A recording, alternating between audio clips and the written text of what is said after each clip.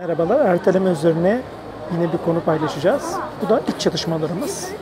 Genelde biliyorsunuz bizi engelleyen en önemli şeylerden bir tanesi her seçiş bir vazgeçiş mantığıyla düşünmemiz.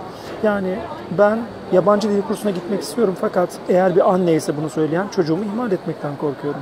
Bir öğrenci ders çalışmak istiyorum ama aynı zamanda sevgilimle de gezmek istiyorum gibi bir iç çatışmayla karşılaşabiliyor. Mesela bir danışanım da olmuştu bu.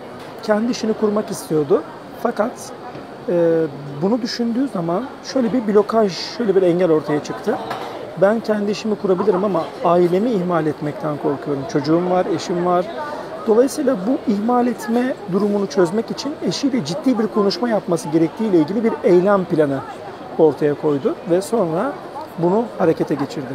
Dolayısıyla bu tarz bir içsel çalışmayı tespit etmek birinci aşama, onu çözmekle ilgili fikirler bulmak ikinci aşama. Mesela bir diğer danışanım da yabancı dil kursuna gitmek istiyordu fakat çocuğunu ihmal etmekten korkuyordu ve şöyle bir çözüm buldu. Gideceğim yabancı dil kursu evime yakın olsun, çocuğu anneme bırakayım, e, ders aralarında bile gidip e, çocuğa annemin iyi bakıp bakmadığını kontrol edeyim. Biraz kontrolcü bir danışanımızdı.